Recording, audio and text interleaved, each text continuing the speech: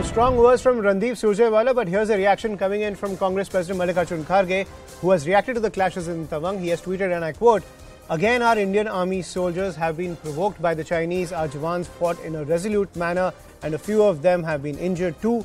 We are one with the nation on the issues of national security and would not like to politicize it. But the Modi government should be honest about the Chinese transgressions and constructions at all points near the LAC since April 2020. The government needs to take the nation into confidence by discussing this issue in Parliament. We are forever indebted to the valor and sacrifice of our soldiers. I'm joined by Pallavi Ghosh on the phone line who tracks the Congress party. So, Pallavi, strong words from Randeep Surjewala, but a very carefully worded statement coming in from the Congress president.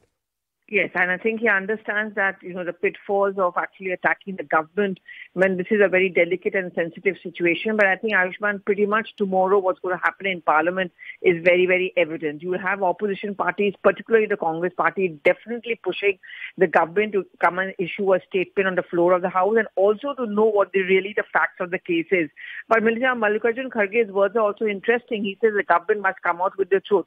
The only allegation which the Congress consistently and led by Rahul Gandhi has been making against the government is that there have been intrusions by the Chinese into our territory, but the government has never ever spoken the truth or be open about it.